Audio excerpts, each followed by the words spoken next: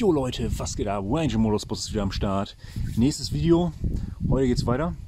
Könnte ein bisschen stürmisch sein. Ähm, von der Audioqualität her. Aber ich kann jetzt nicht mehr auf gutes Wetter warten, weil ähm, ich möchte langsam mal fertig werden. Ähm, ich zeige euch erstmal, was jetzt heute Phase ist. Wie man sieht, Kabel. Heute wird es um die Elektronik gehen. In diesem Video werde ich wahrscheinlich erstmal damit anfangen, die äh, Zündung ein- und auszuschalten. Multimeter habe ich auf jeden Fall dabei zum Durchmessen. Kabel, rot und schwarz. Rot werde ich für Plus nehmen, schwarz für Minus. Sicherung habe ich auch noch ein Kabel, weil ich möchte das alles absichern extra, bis auf die Zündung halt. Und ähm, wie man sieht, habe ich ein neues Trittbrett. Ähm, das andere sah ziemlich fertig aus. Und bevor ich da acht Stunden bei sitze, habe ich gesagt, hole ich mir ein neues. Habe ich jetzt neu.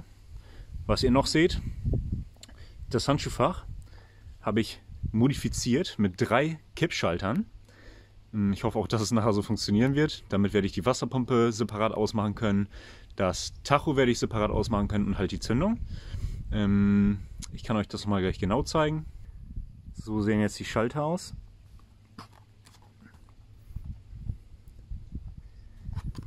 Halt Klapper,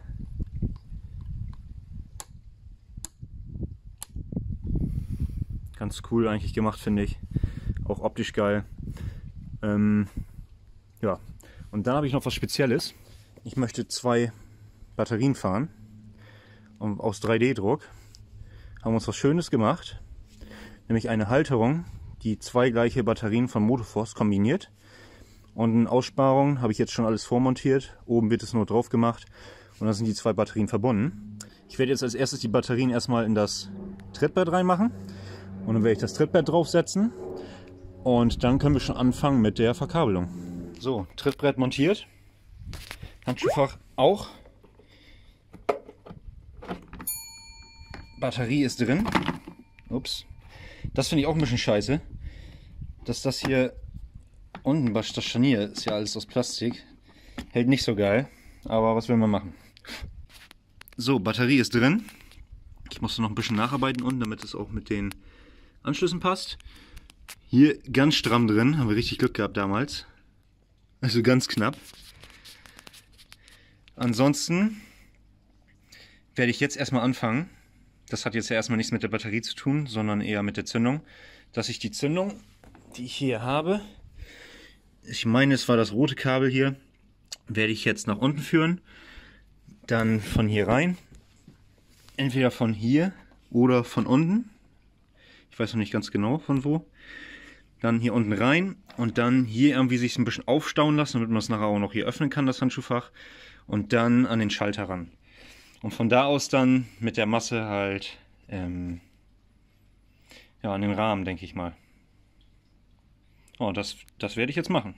So, beim Verkabeln ist mir folgendes aufgefallen, dass ein Kippschalter, so wie er normal im Handel gekauft werden kann, also zumindest meiner, für die Zündung eigentlich nicht gebraucht werden kann, weil wenn ich den Schalter anmache, ist dann die Verbindung zum Rahmen hergestellt und somit würde der Motor ausgehen. Habe ich nämlich äh, mich versehen. Ich habe falsch rum gedacht. Und ähm, wenn der Schalter aus ist, dann ähm, geht der Roller an. Ich möchte es ja genau andersrum haben. Jetzt ähm, habe ich einen geilen Einfall gehabt. Bei dem Schalter ist es so, der hat hier so eine Kerbe. Weiß nicht, ob man das erkennen kann. Von oben. Der hat so eine Einkerbung. Auf einer Seite. Auf der anderen Seite nicht. So. Diese Einkerbung ist bei den Schaltern genauso. Hier ist es jetzt anders. Ich habe es schon wieder neu lackiert eben. Ähm auf der, hier seht ihr diesen Nipsel, der auf den Schalter rauf geht, damit der Schalter sich nicht in diese Richtung bewegen kann, damit er an sich eine, eine feste Position hat. Das war bei dem Schalter natürlich jetzt andersrum. Ich habe einfach den Nipsey abgeschliffen. Der war nämlich eigentlich auf der anderen Seite. Also abgeschliffen, bei der anderen Seite einen Schweißpunkt draufgesetzt und ähm, so den Schweißpunkt gesetzt, dass ich das danach wieder abgeschliffen habe. Ist mir richtig filigran gewesen. Also, boah, das war richtig ein Akt. Aber es hat geklappt. Somit passt es jetzt hier drauf. Und ähm, Somit ist der Schalter an sich um 180 Grad gedreht, aber die Funktion ist genau die gleiche. Und somit schließt er jetzt und ähm, also wenn, wenn ich den Schalter jetzt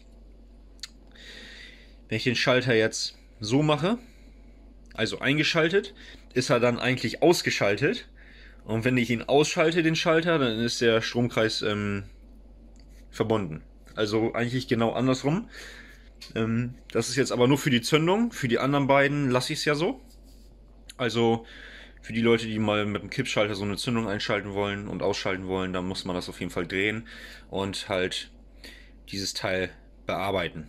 Man kann es natürlich auch einfach, ich war auch schon am überlegen, ob ich hier einfach das, ich sag mal, ein Loch, das Loch einfach durchbohre, dass man den da auch dann drehen kann, so wie man möchte.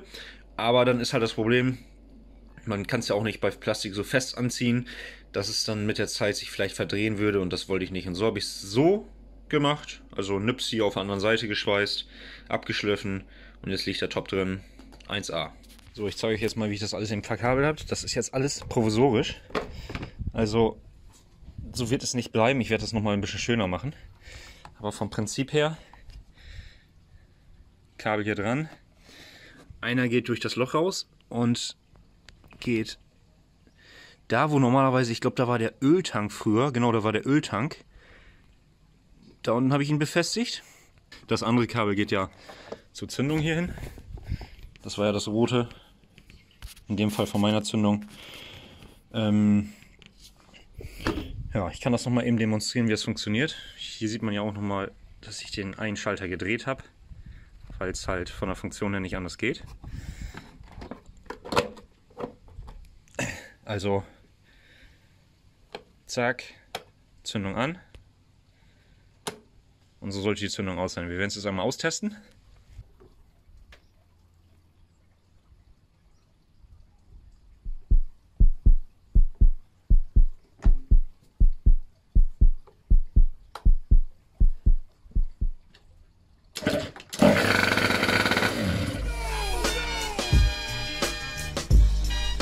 Würde mal sagen, es läuft.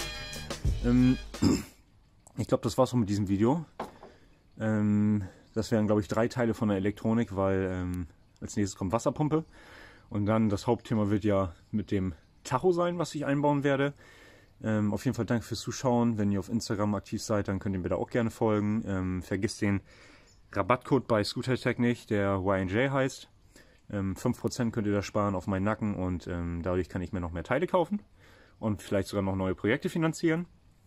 Kanalmitgliedschaft ist natürlich auch verfügbar für die Leute, die Bock haben, ähm, mich noch mehr zu unterstützen, beziehungsweise die früher Bock auf den Content von mir haben, weil da werde ich alles hochladen, was ich bisher habe. Kommt je nachdem drauf an, was ich gerade an ähm, Themen habe, aber wie gesagt, da lade ich alles immer auf jeden Fall früher hoch. Ähm, ansonsten danke fürs Zuschauen, Leute, und wir sehen uns im nächsten Video.